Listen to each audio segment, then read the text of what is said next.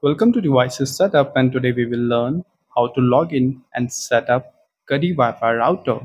This video guide works for all Cudy router models. So let's get started. So in case your internet connection is through an ethernet cable directly from the wall instead of your DSL or cable or satellite modem, then connect ethernet cable to the router's WAN port or else if you have modem, then turn off the modem and remove the battery if it has one. Next, using an ethernet cable, connect one end of it into the modem and the other end into the WAN port of the router. You will then have to turn on the modem and wait for around 2 minutes for it to restart. Now power on your Cudy router using the power adapter and let it reboot. It usually takes around a minute to come up and the power LED on it will turn solid after this. So let's start its setup process. So connect your phone or computer to the Cudy router default network name showing up in your Wi-Fi list.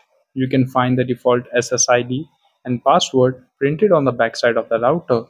So go to the Wi-Fi list and connect to this SSID. Once connected, open a browser and into the URL type 192.168.10.1 and hit enter. This will take you to the Cudy router login page and if it doesn't then try http colon forward slash forward slash cudy.net into the address bar to access the login page.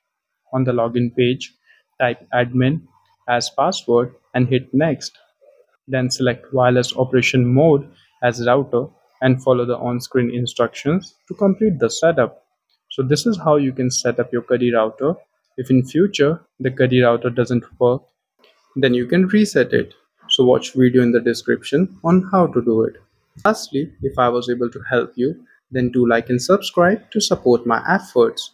Also, you guys can hire me for any technical issue related to routers, extenders, printers, Wi-Fi security cameras, or any other Wi-Fi devices. So you guys simply need to email me your issue on fixallissues07 at gmail.com and I'll fix it for you on very nominal charges.